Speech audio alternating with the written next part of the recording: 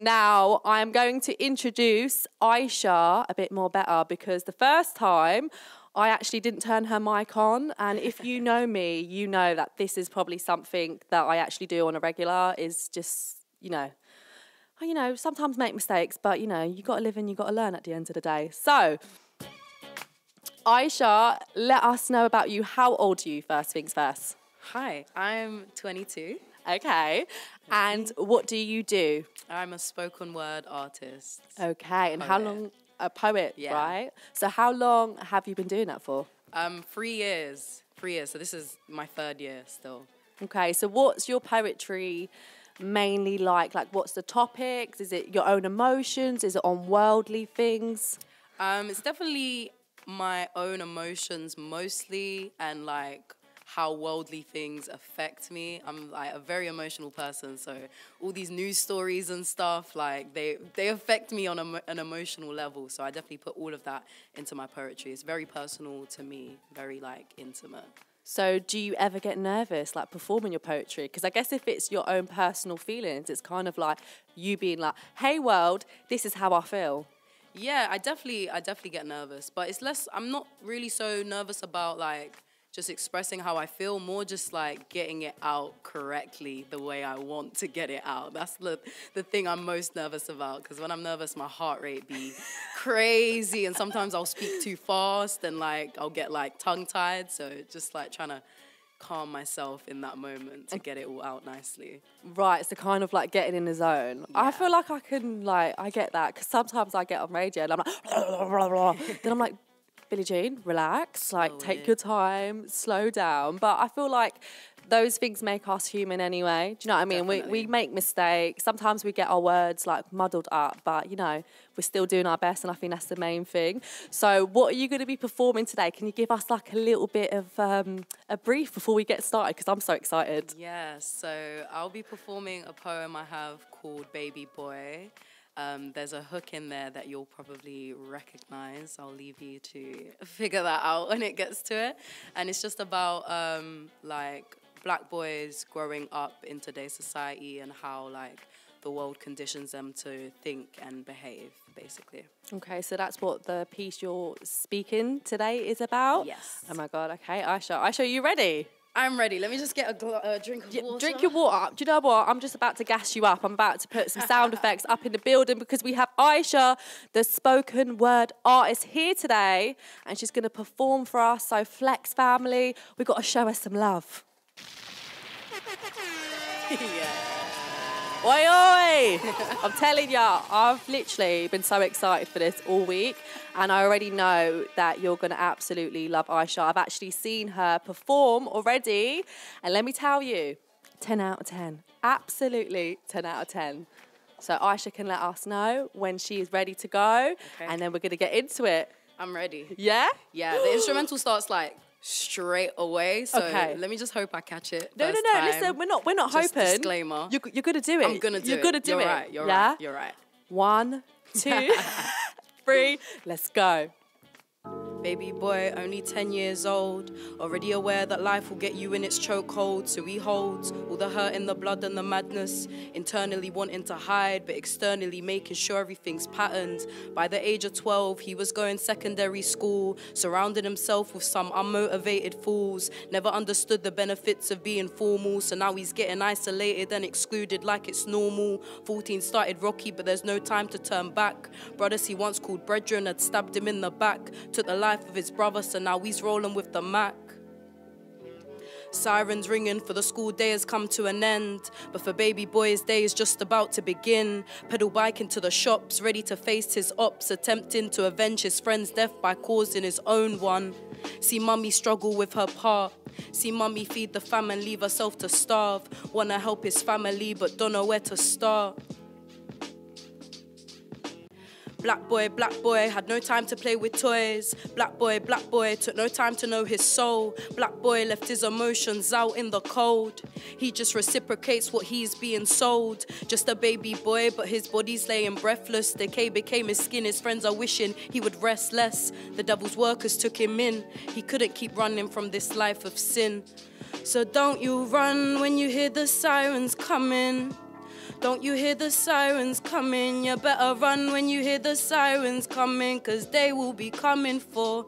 He comes from the motherland amongst the finest of gold, the oldest of souls, but he's selling his soul in exchange for Western wealth and designer clothes. Mm. They had everything in place, put the drugs on ends, and then defined us by our race. Modern slavery, the imprisonment of pigmented skin, either shackled to the trap or the bin. I know your mother, she's been stressing. Brother moving reckless, got a sweet one on your line, but no time for all the pressures, trying to learn all of the lessons. It's getting hard to hear his message. So when you're losing, the hope to hold your head above the waters. When you're choking, it opens up its jaws and you it swallows. When the world thinks you've had your last defeat, you'll be cutting your way through the belly of the beast. His soul stood at heaven's gates. His potential unlocked when he stared death in the face. His fear is his fuel. Lack of experience outweighed by his potential. Cause we don't wanna run when you hear the sirens coming. Don't you hear the sirens coming? You better run when you hear the sirens coming, cause they're always coming for you. Thank you. OMG. No, seriously, if I had a round of applause, sound effect, don't know if you can hear that, but I am clapping.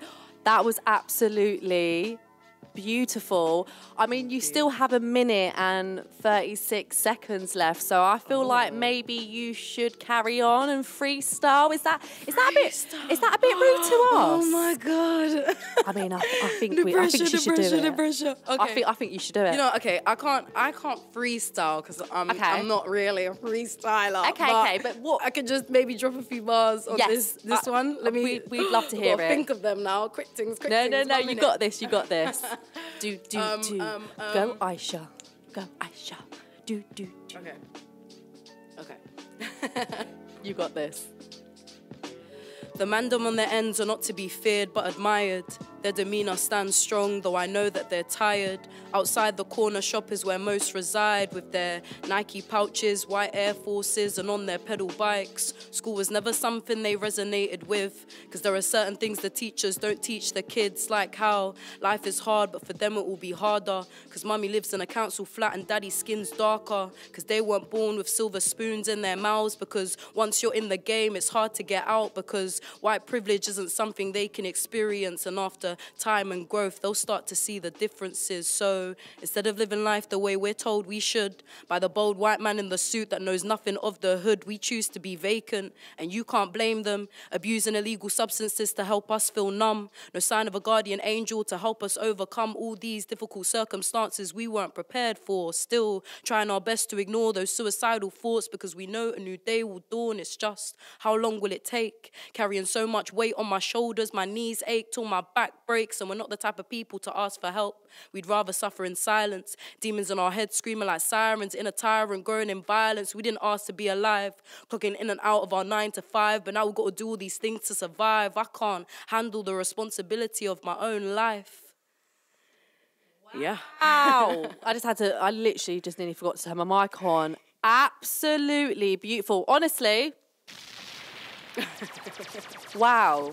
You're absolutely amazing. And I still you, can't sis. believe you're 22. Yeah. You've definitely been here before. You're an I've old been soul. here many times.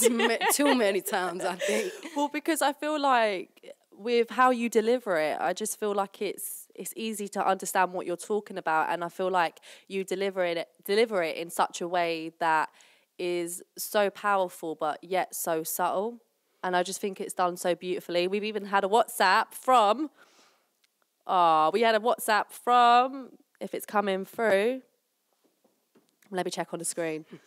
It was from Dipak Patel who said hats off. Amazing. And we had one from Emerge MC who put crown emoji, crown emoji, crown emoji. She absolutely killed it. I mean, what's next for you, Aicha? What's next? Um, I'm working, still working on my EP, which is like poetry and music combined. So similar to like the first one you just heard. So you're going to be singing and spoken word on it. Yes. Wow. Exactly. Do you have any idea when you're dropping that? Do we get to know? I actually have no idea. So I cannot. I told everyone last year that I was going to drop something last year and I didn't. So I'm not giving any more dates because then people are putting pressure on me. Yeah. So do you feel like you're just going to go with the flow with this then? Yeah, definitely. I want to take my time. Like it's very like very personal to me and I'm definitely like a perfectionist to an extent. I'm an artist, and you know, I, uh, I, I, I want to be concerned about what I'm putting out there. I gotta make sure it's good enough, or at least like I like it enough. Okay, so it. kind of when you feel ready and you're comfortable with the art you've created, then we're gonna basically be hearing an EP from you. Exactly. What else have you got in the mix? Um, so I run my own events in Peckham as well. ATL's Word on the Street, which is like poetry and music. So we got more events coming out, and I'm doing a writing workshop as well with some really sick authors and public speakers and stuff. Wow. that's So, if lit. if someone's interested in getting involved, how would they go around getting involved? Like, would they be able to follow you on Instagram? Do you want to give your social so people can follow you? Definitely follow me on Instagram, Aicha Therese. So it's A I C H A Therese. And then you can also follow my events page, which is ATLS Word on the Street. Ooh, get some sound effects. Honestly, this is my go-to. well, honestly, Aicha, it's been absolutely amazing having you on. And you know what? Maybe we'll have you on again when you've got When your I've EP. dropped some things, Yeah, we could be playing it to. live on radio. Thank you so much. Up next, we're going to get into Bree Runway with Hot Hot.